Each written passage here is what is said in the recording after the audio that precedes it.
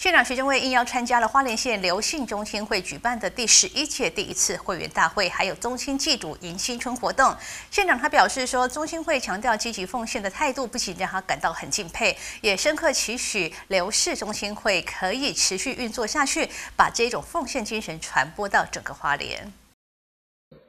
花莲县刘姓中心会举办第十一届第一次会员大会及中心祭祖迎新春活动。趁着难得放晴的好天气，会员出席状况相当踊跃。现在徐政委也亲自出席这次的活动，不仅替会场增添了许多热闹的气氛，更体现了刘姓中心会向来给人称道的中青凝聚力。真的非常非常开心哦！每一次来参加刘姓中心的时候，不是我们大会，就是我们祭祖，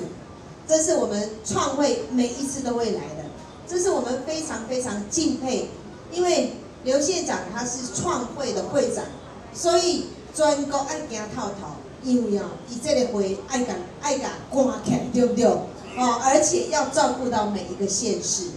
而我们也看到总会长也是因为担任总会长责任和那个和那个整个传承啊，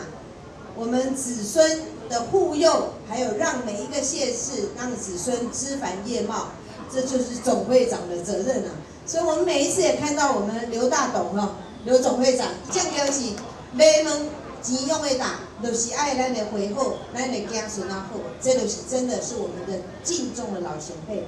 所以有这么多的前辈赶来跨过，我们更要努力，更要团结，尤其是花莲的发展。让我们所有的这个流失中心的子孙啊，无论是市农工商，对于社会、对于地方、对于国家，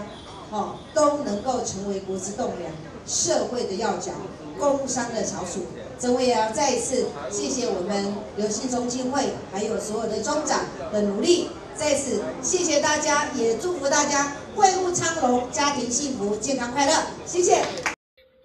现在许多人表示，花莲县流行中心会在老人关怀、奖励青年学子以及自强活动的举办上出力相当的多，已经成为花莲县各中心会的模范。他也期许中心会能够把这样的奉献精神延续下去，让花莲能够在各市中心会的高度凝聚之下，真正成为一个崇尚伦理精神、族群共和共荣的幸福城市。记得注意，花莲收报道。